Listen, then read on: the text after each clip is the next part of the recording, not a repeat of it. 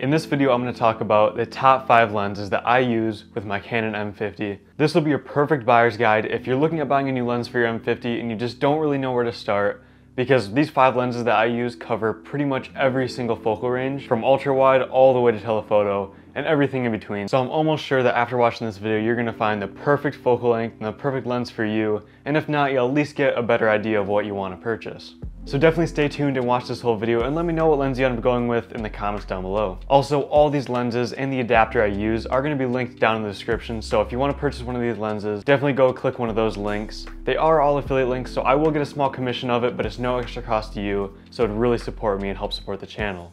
Also, if you do like this video, go down and hit the like button, I'd really appreciate it. And if you're interested in budget cameras and budget lenses, that's pretty much what I make videos about on this channel, and I'm gonna have more M50 videos in the future, so feel free to subscribe if you're interested in that type of thing. So without further ado, let's get into this video. Alright, so I'm gonna be going over each of the five lenses individually, and basically I'm gonna talk about what I love about the lens, you know, and what it's used for, and a couple things I don't like about it. And I'll be doing that for each of the lenses, and also for each of the lenses that I talk about, the lens that I'm talking about at the time will be the one recording me, so you'll kind of get a little bit of an example, but also show some examples with each lens of photos or videos that I've taken with it. The first one we're talking about is on the camera right now. It's the EF 24 to 105 millimeter f4. So this is a genuine Canon lens, so it's gonna have the really good Canon L lens build quality, but that also means it has the L series lens price. So this lens is one of the pricier lenses that I have in my kit. Now I actually scooped this lens up on Facebook Marketplace used for $450. So you can get it used for pretty cheap if you do look around and if you really search for a good price. But new, it's definitely, definitely the priciest lens out of these. But before you skip over this,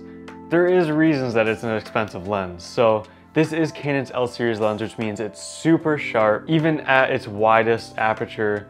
Uh, it also has image stabilization built into the lens, which is super useful for getting stable pictures and stable videos. And it has a really good focal range. So it's a 24 to 105 millimeter. So 24 millimeters is where it starts out at, at f4, and it goes all the way to 105 millimeters, which is uh, pretty zoomed in, it's a nice telephoto focal range and it stays at f4 because this is an f4 constant aperture which is super awesome. And now these focal lengths will be a little different depending on the adapter you use. And so I use with all these lenses a Viltrox Speed Booster. And so what the Speed Booster does is essentially kind of widen the focal range and add extra light into your image uh, because the Canon M50 is an APS-C size sensor camera. So it has a smaller sensor than a full frame sensor, which means you get kind of less depth of field, less low light performance. And so this adapter has a little piece of glass in it that widens the lens, adds light into your sensor, and essentially makes your M50 more like a full frame camera. And so I'm gonna link this Viltrox Speed Booster in the description. I would really, really recommend buying this to use with all these lenses that I'm gonna talk about because it adds better low light performance, it adds depth of field into your images, and really gives you that full frame look, which a lot of people really go for. And it's really one of the biggest downsides of the Canon M50 is that it's not a full frame camera.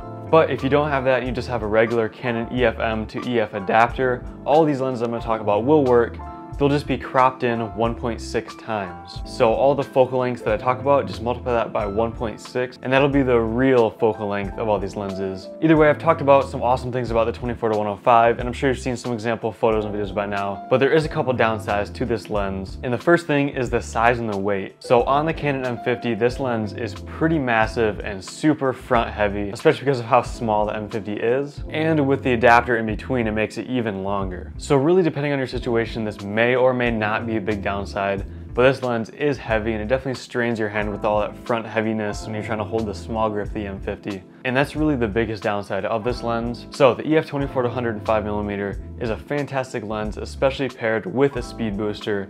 This lens is super versatile and it's a great just walk around lens or a great travel lens just to bring with you. You got all sorts of focal ranges in there, anywhere from pretty wide all the way to pretty zoomed in. With image stabilization, there's not much to complain about. This is an awesome lens. All right, here we go. Next up, the lens we got on the camera right now is arguably one of the best beginner lenses for the Canon M50. It's really cheap, it is super sharp, super great, and uh, it creates amazing shallow depth of field, which I'm sure you can kind of see right now. I'm not super far from my background here, but still creates some good depth of field. And of course I'm talking about the Canon EF 50mm f1.8. So right off the bat, this lens is $125 brand new, which compared to the last lens that I just talked about, this lens is like a steal, like it's super cheap compared to most other new lenses. And you might think for that cheap of a price, there would be a bunch of downsides that this just wouldn't be a very good lens. But honestly, I don't even know if I have a downside to this lens. This is definitely one of my favorite all-around lenses for any Canon camera, and honestly, I'd recommend just picking up this lens no matter what. Like this is just a perfect lens at a perfect price point. So first things first, it's a 50 millimeter focal length, which with the speed booster, which I use on it right now, it makes it pretty close to actually 50 millimeters versus about 80 millimeters if you use a regular non-speed booster adapter. So at a 50 millimeter focal length, it's really good for portraits. It's not super telephoto, like, you know, you don't have to back up 100 feet from someone to get like you know, an upper body shot. It's a really, really good focal length for just walk around street photography, uh, for portraits, for you know, anything like senior photos or portraits in a studio, or really any type of people pictures, this is an awesome lens for because that focal length is really pleasing to faces. It doesn't distort the face very much at all, and it creates that amazing shallow depth of field. Right now I'm at f2, so I'm not even as low as it goes, and the background's still kind of just washed away into blurriness. I mean, it looks super good. And it's seriously like hard to take a bad photo or video with this lens. I just, I really don't know if there's anything bad I can say about this lens. It's really sharp. Uh, it's not an L series lens. You know, it's not like a 50 millimeter f1.2 L series lens, which is unbelievably tack sharp. It's nothing like that, but you're never gonna complain that this isn't sharp enough. The autofocus is really fast. It's a genuine Canon lens, so it has Canon's build quality. It's gonna pair perfect with the Canon camera because they're meant to go together. I just, I really don't even think I can say a bad thing about this lens. So if there's one lens out of this list of five that I'm talking about that I recommend literally just going and buying, it's this lens right here. All right, next up right here, we have the Canon EF 16 to 35 millimeter f2.8 L lens. Now I think there's three different versions of this lens. The one I have right here is the first generation, which is honestly the one I recommend for the Canon M50 because it's the cheapest version and you're really not gonna notice a whole lot of difference. You know, especially with kind of a more budget camera. If you're planning on upgrading and you wanna be, you know, professional, you wanna have the sharpest, best quality 16 to 35 lens, you could always go for the third version, which is really, really expensive but obviously it's gonna be the best version of it. But honestly, I'd recommend this first version that I use right here. Before I talk about that, right now I'm at 35 millimeters and I'm using the Viltrox Speed Booster like I will with all these lenses, so I'm gonna stop bringing it up. But the Viltrox Speed Booster makes this about a full frame equivalent. So right now I'm at 35 millimeters and it's about an arm's length away from me. I'm gonna go ahead and zoom up to 16 just to show you how wide this lens gets. There we go. This is 16 millimeters. So this is the exact spot I was just at, and now I'm like a speck in the middle of the screen. Uh, so this lens gets super, super wide, which obviously is great if you're looking for a really wide lens. This gets a lot wider than the 24 to 105 millimeter that I talked about previously. And obviously the whole focal range is wider than the 50 millimeter lens I just talked about. So if you're looking for a wide angle lens, uh, this one's great. Now there is another wide angle lens I'm talking about in a minute, so stay tuned for that if you're interested in wide angle lenses, uh, because I might recommend the other one over this, depending on your situation. I'm going to zoom into 35 millimeters again. There we go. So the EF 16 to 35 millimeter f2.8 lens. So if you have kind of a bigger-ish budget and you're looking for a lens to vlog with, or do real estate photography or videos, uh, really any case that you'd need a really wide lens with a fast aperture, this lens right here will be perfect for you especially since it's an f2.8 aperture. It's gonna be super good in low light conditions and it's still gonna provide a pretty good shallow depth of field, which you can still see right here. Even though it's a pretty wide lens, f2.8 gives you a nice shallow depth of field which is super awesome. So if you have the speed booster, this is gonna be obviously pretty much a 16 to 35 millimeter lens. But if you don't have a speed booster and you just have a regular adapter from EF to EOS M lenses, this won't be an ultra wide lens. This will be more of just a wide lens because it'll be approximately 30 to 55 millimeters. So more of a mid-range zoom lens, which is also actually super good even without a speed booster because a nice mid-range lens like this Uh, super great for pretty much any sort of street photography or anything like that. Uh, but obviously, like all these lenses, I'd recommend using the speed booster. It just brings everything to the next level. And uh, this becomes an ultra wide lens again, like it was always meant to be. So for price, this lens I picked up used for about $350. Now I got a stupid steal on it because even used, this lens on average sells for closer to five to $600. And I believe it's a little more than that new. So this isn't a cheap lens at all. But like I said, this is Canon's L series lens. It's an f2.8 constant aperture. The build quality is fantastic. It has a weather sealing gasket. It's really just an all around amazing lens. I don't know, I, I don't know if I have much bad to say about this lens either. I mean, the f2.8 aperture is super amazing. You know, you really can't ask for more than that on such a wide lens like this. It's also not even a super huge lens. It's a little smaller and lighter than the 24 to 105 millimeter. But if you don't have a speed booster or if you're looking for an even wider, like super ultra wide lens, stay tuned because I have one that I use. I'm gonna bring it up in just a couple minutes here. All right, so I'm on the next lens right now. And this one's a little tough. Uh, honestly, I really apologize if it's out of focus right now because this is a manual focus lens and it's like literally 15 feet away from me right now. So I really apologize if it's slightly out of focus. So this lens right here is the Rokinon 85 millimeter T1.5 lens. Now there's two versions of this lens. I have the cinema version which has cinema gears and a declicked aperture. It's meant for video work, but there's also a photo version. So I'll link both of them down below depending on what you're gonna use these lenses for. Uh, but both versions don't have autofocus. But this lens right here is something special. This lens just reminds me so much of a vintage lens because of the characteristics of the bokeh. Just how everything looks with this lens is super, super stylized and I don't know, there's just something special about it. It's just, such an awesome lens. And this lens is also tack sharp, especially if you stop down to like f2.8. This is an 85 millimeter lens, which is getting onto the telephoto side. This is you know, a pretty long lens, especially without a speed booster. It's equivalent to like 100 and 20 millimeters, something like that. I don't know exactly, but this is definitely a telephoto lens. So this lens is amazing if you're gonna be taking portraits of people. This lens at T1.5 or f1.4 on the photo version at 85 millimeters creates such amazing background separation and compression uh, it just makes everything look amazing. Now the downside to it is it doesn't have autofocus. So for something like what I'm doing right now, it really isn't that good because obviously it's so far away from me, I can't fine tune the focus uh, to make sure I'm in focus. But if you're the one behind the camera, if you're taking pictures of other people or other things, this lens is perfect as long as you can nail the manual focus. Now the only other downside to this lens that I can think of is that it has a pretty long minimum focus distance. For times that I wanted to get like product B-roll or you know like product shots, it's really hard to do that, especially on anything smaller than you know a few feet tall or wide. So like I've tried to take nice close-ups of cameras or lenses and you just cannot get close enough to get, you know, a good product image. So if you're looking at taking really close-up product shots with this, I wouldn't recommend it, but for portraits of people or animals or things like that where you don't need to get obviously super close, this lens is seriously beautiful. It creates amazing pictures and videos.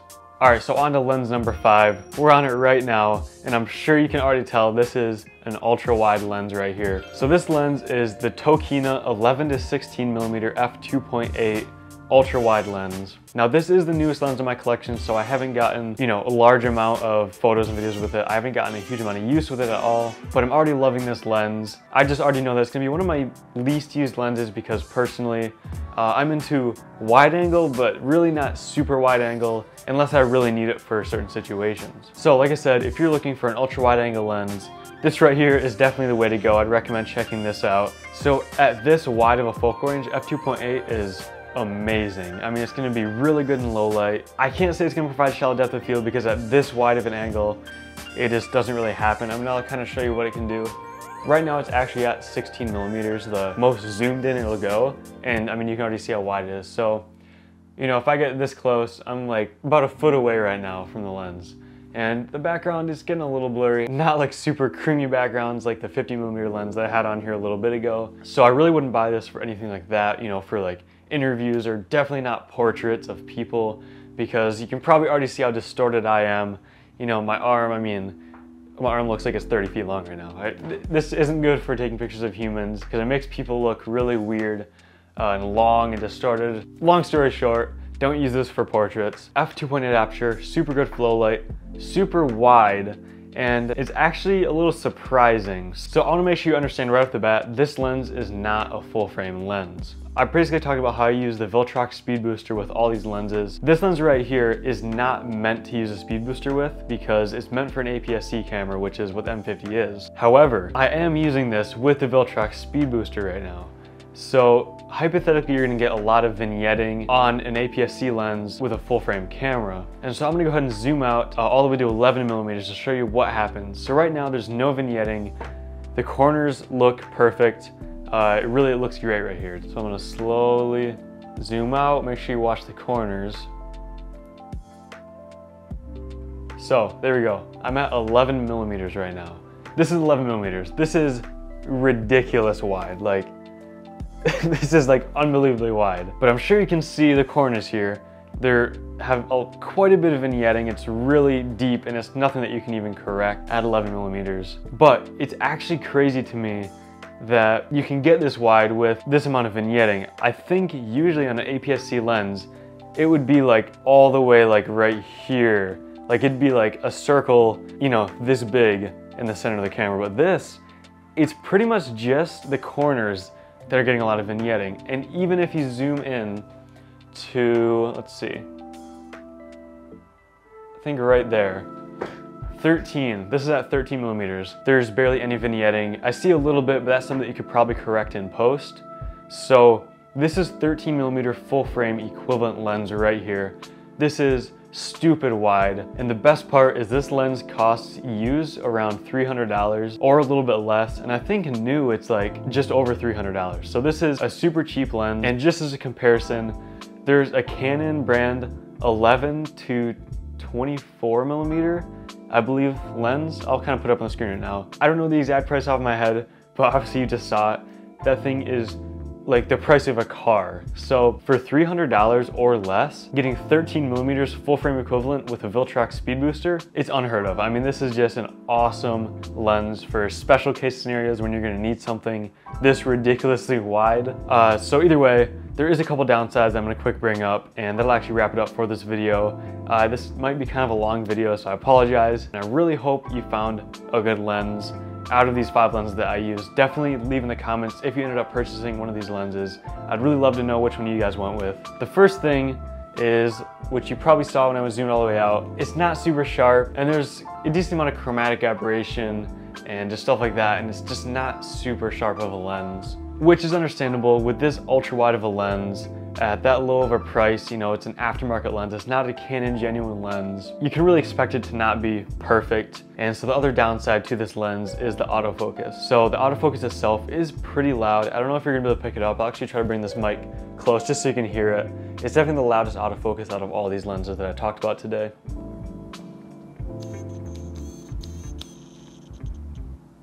I don't know how much that you picked up, but the autofocus is pretty loud in this and it's not super fast. So it's understandable because this isn't a genuine Canon lens, it's you know an aftermarket lens with an adapter. So it's understandable that autofocus isn't amazing, but also at this ultra wide of an angle, you pretty much can use manual focus most of the time because a lot of the frame is gonna be in focus at once.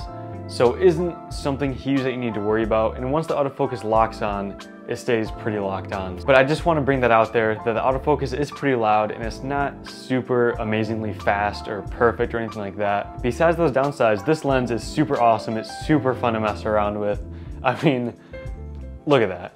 It's ridiculous how wide this lens is. So either way, that wraps up this video. I really hope you enjoyed it and I hope this helped you out. If it did, go down and drop a like and feel free to subscribe to my channel. And I hope you have a good morning or afternoon or night, whenever you're watching this, and I'll catch you in the next video.